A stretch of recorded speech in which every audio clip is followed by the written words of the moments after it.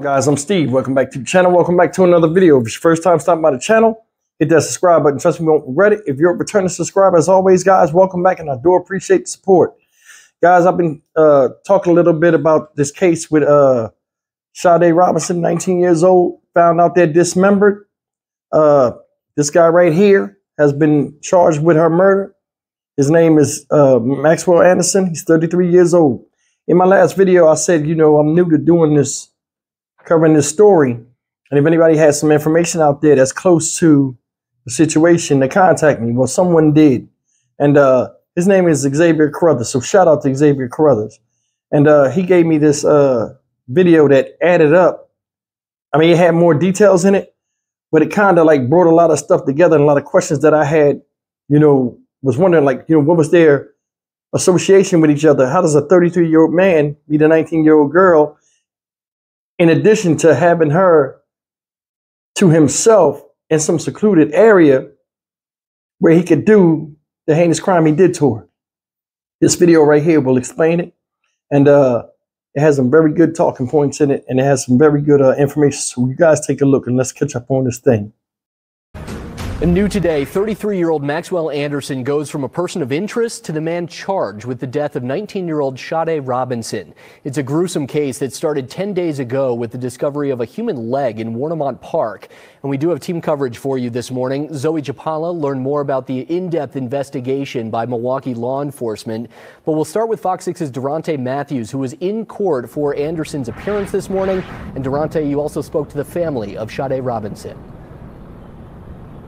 I did, and it was a very, very difficult day for her family, the family of 19-year-old Sade Robinson in court today. Many of them were in tears before walking out of court, and a lot of them were shaking, sitting behind the man who's accused of killing Sade, and that's, as you mentioned, 33-year-old Maxwell Anderson. Now, his charges were read in court today. Now, that includes first-degree intentional homicide, mutilating a corpse, and arson. Now, if convicted, that first-degree intentional homicide charge is enough to land him in prison for the rest of his life.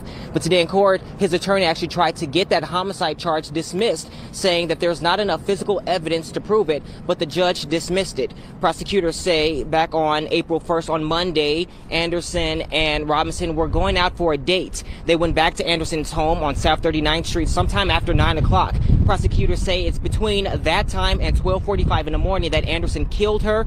They say he then dismembered her body and scattered them at different parts around the county. Police found her leg foot and other human remains in different areas last week.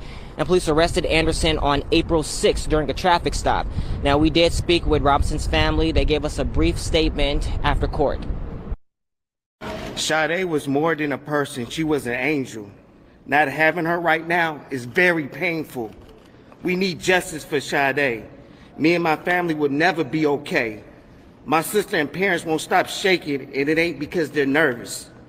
Imagine trying to bury your niece with no body for the service. I need justice for Sade.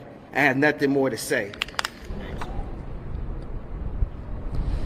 And prosecutors did say that there are still parts of Sade's body that are still missing. Today, a judge said Anderson's cash bond at $5 million, but his attorney tried to get that lower to $500,000. That was later dismissed.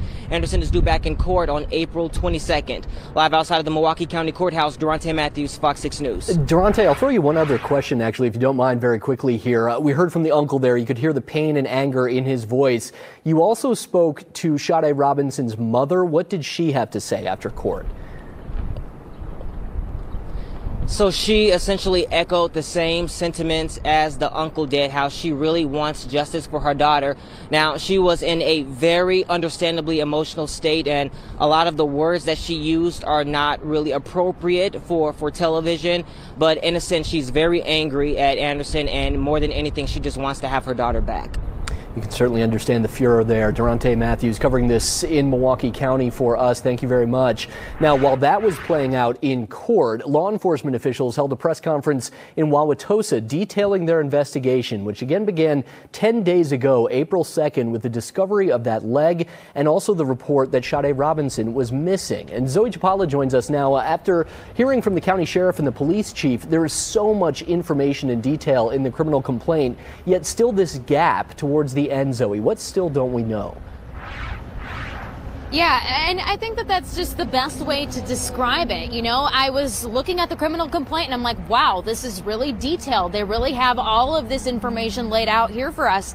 And then when I got to page nine, because it was about a 10 page criminal complaint, I realized that there are still a lot more questions than answers at this point. I mean, some of the big things that I think we're still wanting to know is a motive. That is something that we asked the Milwaukee County Sheriff's Office, and that's not something that they can answer at this time.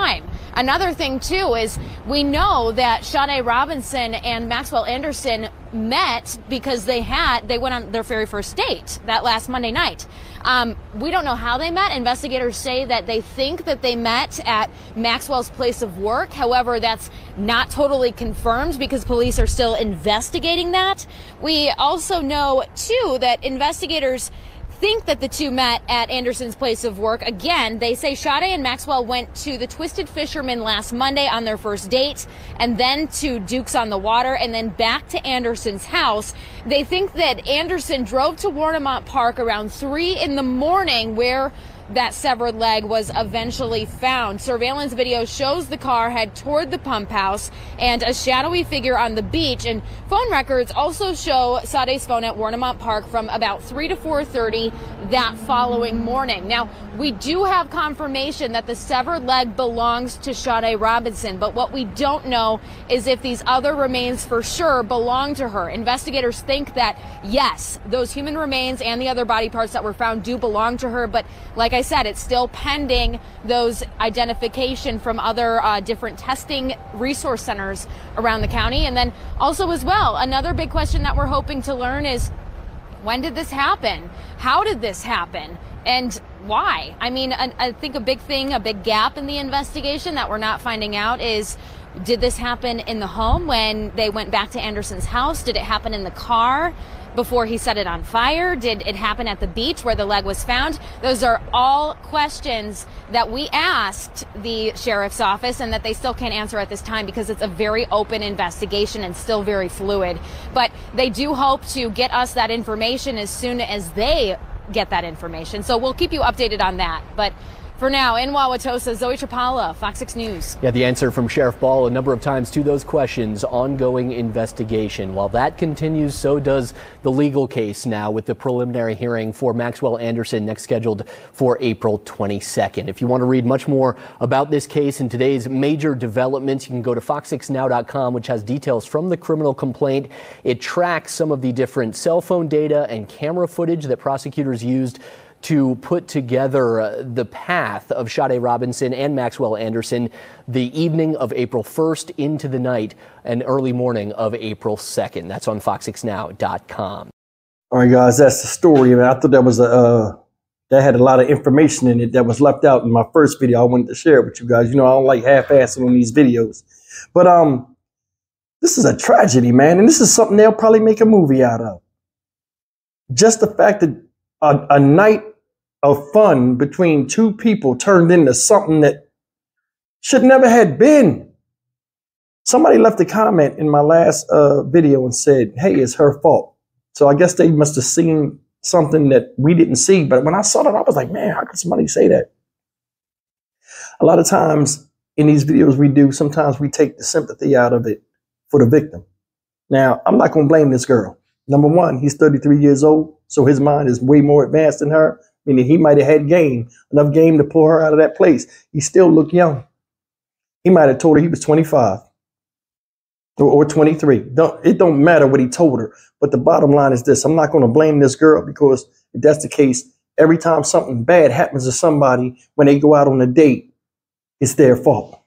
So I can't really say that unless that person, you know, that made a comment, and no offense to you. I mean, you might know something I don't know, you didn't explain it. You know what I'm saying? But either way, the family's pissed, devastated. My man wrote a spoken word poem and said, expressed his anger in the poem. That was creative. I ain't even to hate. But you seen his face. Ain't got nothing to say. Need to do a lot of other people. This dude right here need to be torn apart by the very people he hurt, her family. Because she ain't here to do it. I mean, just think about this is something that they make horror movies out of. This guy right here got the girl to come back to his house killed. They said he, he must have took a life around 12 something when he got there and dismembered the body. And he cut her in pieces, y'all. Pieces. He didn't just hack off the arm and leg, her feet and everything. He, he, he went and he did this child all types of dirty. And for what? If she came back to your house, bro, that was a chance that, a big chance that you was who she was choosing to deal with. But I think his whole motive was to kill this girl. And I think he was a serial killer in the making. If he hasn't done it b- before. Because think about it, it takes a lot, a lot of drive and thirst for destruction to dismember somebody. First of all, to kill somebody, but to dismember them. And you just met this person without no reasoning to do so, except your own appetite for the destruction of somebody else. I don't know where this case is going to lead, guys. But I mean, if any new updates come up, I'll do my best to cover them. This is a messed up case, and this dude sitting up there like it ain't nothing. That's the part that's scary. It's a lot more people out here that are like this. I bet you his neighbors and stuff never even knew he was like that. This type of dude, type of dude that only come out the house when he go to his car and go back home. I bet you people probably next to him ain't nothing about it. Either way, man, they didn't see this coming. Nobody did. And this is a tragedy in itself. Like I said, man, this young lady, Sade Robinson, rest in peace, man. And fa- family, man, like, come on, man. People was looking for body parts. Really? All this for somebody's selfish, own selfishness and appetite to destroy somebody else's life, which had a ripple effect and destroyed the lives of a lot of other people who loved her. That's a thing. These people do stuff to people, look them in their eyes, and take their life. Not even thinking about those that is love, that love this person. Or if the person was just love, period. I'm Stock Market Steve. I'll see you in the next video. Take care.